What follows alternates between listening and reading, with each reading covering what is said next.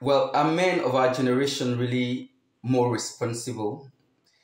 Are men getting more responsible? Well, I do not know, but let's look at certain things if really men are getting more responsible. So, so we, we would want to really look at what are the major or the primary roles of men in the society. Well, men are supposed to be fathers, they're supposed to be husbands, and they're supposed to, to, to have, I mean, the men gender role revolves around characteristics such as um, um, I mean, I would think of strength, I would think of um, assertiveness, I would think of being strong, I would think of being able to defend your family, I would think of being able to carry everyone along, all right?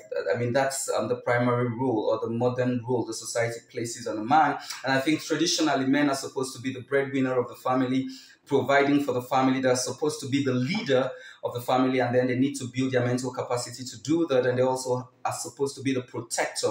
They should know how to fight. They should know how to defend their family. They should have some characteristics of a strong man who can stand against the tides and protect his family. And this does not come easy.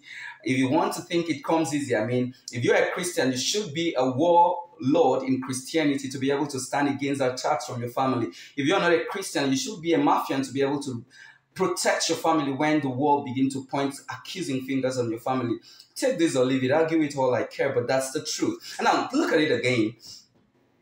Men of this generation are they becoming nicer or good? I think the men of this generation are becoming nicer, and that is making them weak because being nice is a sign of weakness. Etymologically, nice means being foolish. And then if a man is foolish, a man will agree to everything a woman brings to his table. But if a man is strong, a man will not agree to everything a woman brings to his table. And that's what a good man is. A good man makes a woman better, but a nice man makes a woman foolish. And that's why you discover that most nice men are used by women. And at the end of the day, they cry here and there, they commit suicide and die, not because they are not sound, not because they are not intelligent, but because they allow themselves to be carried away by the nonsense of being nice over nice is killing a lot of men in this generation. Take for instance, a woman comes to you around 8 p.m. and tells you wants to go out and you ask her, who are you going out with? She says, I'm going out with my female friends. And you think of these female friends and you found out that, okay, these female friends, there are things about them that I do not like. There are things about them that are questionable.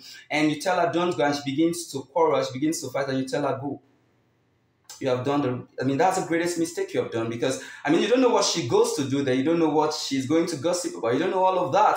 So the best thing is tell her not to go and then you know you have your reasons. You tell her the reasons. If she can relate with it fine. If she cannot relate with it you tell her well don't go. And that's QED. now she gets stubborn and go. When she comes back let her go through pains there are different ways to discipline a woman. You don't need to touch her, you don't need to raise your hands at her. But there are 10,000 ways to make her understand that she has messed up and she needs to dance to the music of messing up. That's what a good man is. Be a good man, don't be a nice man. Because if you're a good man, your wife will be better. If you're a nice man, your wife will go foolish over time. And this is the truth. Whether you take it or leave it, it, is the truth. Now, are men becoming responsible more? I, I, I don't think so because how can men become responsible when the narrative of get money rich at all costs has been popularized completely? And right now, men need to get money by all means, killing people, stealing, doing all manner of things in order for them just to get money.